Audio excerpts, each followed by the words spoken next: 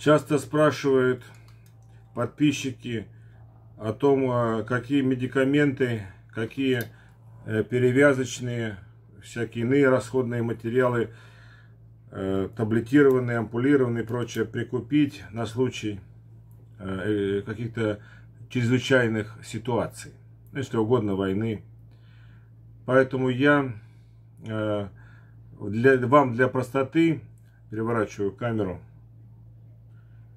для простоты восприятия, значит, как я обычно вас учу, как пользоваться интернетом, коли он у нас еще есть.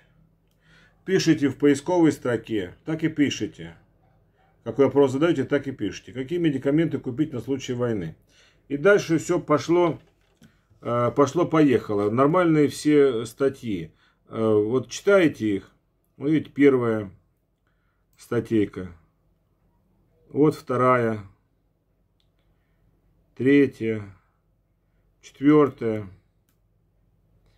пятая, вот и так далее. Много не надо, вот, а мы э, вот картинки разберем картинки, да, чтобы вам не только вот вы на меня смотрели на пальцах, но и, ну, там первую какую попавшуюся, допустим, эм, ну, давайте вот эту вот она, сейчас, обширная. Нет, нету. Где побольше изображения, чтобы мы больше могли... Вот она. Чтобы мы больше могли, значит, общаться. Значит, э, на что у нас э, разделяется вот эта неотложная аптечка, на какие разделы? Перво-наперво это перевязочные материалы на случай ранения, на случай пореза, на случай, не дай бог, э, травмы грудной полости, когда будет пневмоторакс. Но это уже более специальные знания. Какие-то специальные, так сказать, некоторые, ну, можно и заменить, конечно, все это и суррогатными материалами, какую помощь нужно оказать. То есть, вот это первая часть. Давайте сразу пройдем по, по частям. Вторая часть это, давайте обезболивающие, да, назовем. Это всегда очень актуально. Обезболивающие. Есть таблетированные, есть ампулированные. Какие можно купить? Ну, анальгин снят с производства вроде как. Димедрол вам не продадут. Кетанов, группа нестероидных противовоспалительных препаратов. Эм, есть и таблетированная, есть и ампулированная. Что купите, то купите. Для желудка лучше ампулированное, так сказать, э, дешевле и проще достать таблетированные. Э, вот, значит, по поводу обезболивающего. Э, что купите, то купите. По большому счету вы можете просто прийти... Я переверну сейчас, чтобы вы лицо...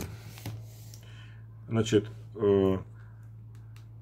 на самом деле, вот я но правда я говорю, что я, что я врач, и а, когда мне надо, я как бы вот говорю, я врач, мне надо это. Или антибиотик на, называю, и дозировку его.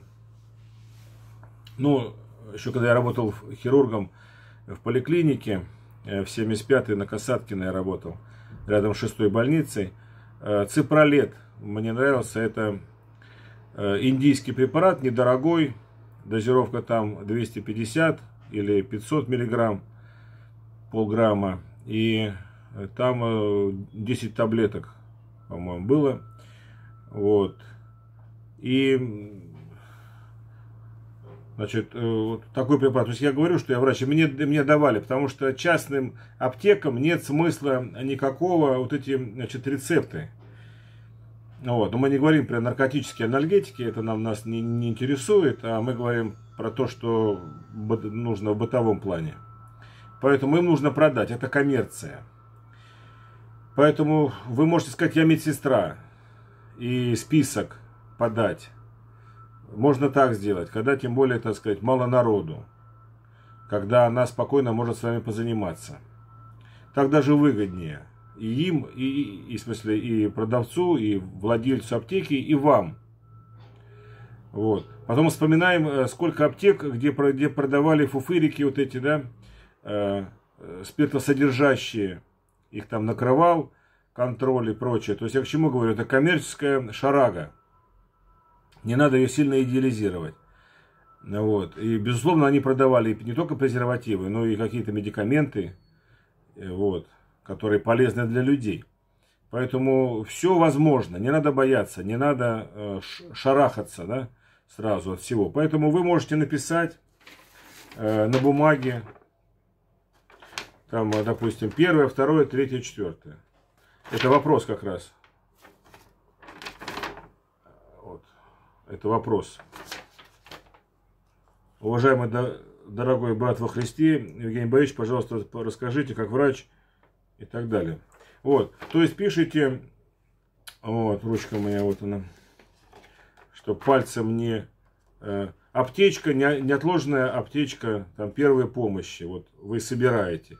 И первое пишите, допустим, э, анальгин, ну, сначала также пишите, первое это э, жгут, напишите, да, потом эластичный бинт, потом напишите хирургические салфетки, э, какие есть ну, 5 или 10, а они срок годности не имеют, они стерильные. Бинты 14-7 э, размера, тоже по, по 10. Марля, йод, перекись водорода, хлоргексидин, э, зеленку. Я люблю зеленку, но я э, хорошее образование, СССРское, лучшее. Первый Московский медицинский институт и военно-медицинская академия. Э, вот зеленкой мы часто пользовались тогда, я люблю ее даже вот ожегся э, в бане, прикоснулся к печке. Вот уже прошло, тоже зеленкой мазал. Вот. Значит, э, перекись водорода, ну, обычно она в, в маленьких э, баночках разведенная до нормального состояния. То есть не будет ожога. Вот. Потом, значит, обезболивающие. Ну, напишите для начала анальгин, чтобы понимали, что вам не нужны никакие там кадеиносодержащие препараты, которые запрещены, тоже вызывают там эйфорию. Вот, поэтому э, потом напишите индомитоцин, самый дешевый, ортофен. Вольтарен не пишите, дорого. За копейки, э, так сказать, можно купить отечественный индомитоцин. Это вся одна и та же группа, называется нестероидный противовоспалительный препарат. Ортофен, индомитоцин. Вот. Можно как ампулированный, так и в ампулах. Там же напишите. И так и таблетированные. Дозировки там стандартные. Вот. Кетанов, кетарол есть и в ампулах, и тоже и в таблетках. Вот. Потом антиби антибиотики. То же самое.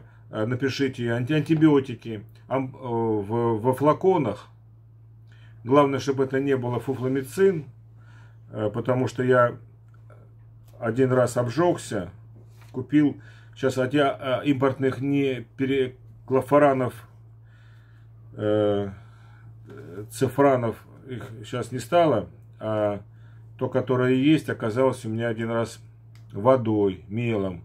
Так что я вот, ко мне обратился тоже пациент, и я знакомый, я покупал препарат и как-то тоже, вот отечественный, потому что у него была пролонгация, там не хватило. Вот. Поэтому, ну, как повезет. Э, это Россия. Поэтому лучше, ну, молиться всегда хорошо, но там, конечно, попроще аптеку берите. Вот. Значит, а, антибиотикотерапия. Ну, вот про ципролет я вам сказал, недорогой, 240 рублей 10, 10 таблеток. Возьмите тоже побольше, там, напишите 20 упаковок. Срок годности тоже там 3 года, 4. Раздадите. Вот. Потом э, фуросемид в таблетках. Замечательный антисептик. Э, стрептоцит в таблетках. 50 копеек килограмм. Замечательный антибиотик и антисептик. Э, можно э, порошком э, доводить его до, до порошка и тоже сыпать и на рану, можно сделать раствор для полоскания, так же как и фуроцилин, можно растолочь, растворить в воде, ну, вода должна быть кипяченая, если не дистиллированная, и, значит, э, в теплой воде растворили и храните в бутылке, ну, желательно экстемпора, то есть перед применением. Вот. Значит, э, ну, иглодержатель, иглу я не знаю, вы купите, не купите, Может быть, на Озоне попробуйте, на Вальбересе продают. Вот. Так, если что, швейной иголкой и ниткой можно также зашить, если рана, допустим, резаная от битого стекла, вот, там, распорола лицо, да, там, допустим, на себя не показывает, но не важно. То есть надо шить. Вот. Надо аккуратно шить. Как вы шьете тюль. Вот. Взяли вот лезвием, да, там ребенок не подумал, лезвием рез, ширк, тюль. И тюль распался на, на две части. И как вот вам нужно? Вы берете ниточку, берете иголочку, одну ниточку, да, и начинаете сшивать вот так. Правильно? Вот. Э, можно так шить. Можно один стишок завязал, второй стишок завязал, стишок завязал. Вот. И будет, главное, чтобы было ровно сопоставление тканей. Не так, а, а как положено. Вот так. Ровно, да?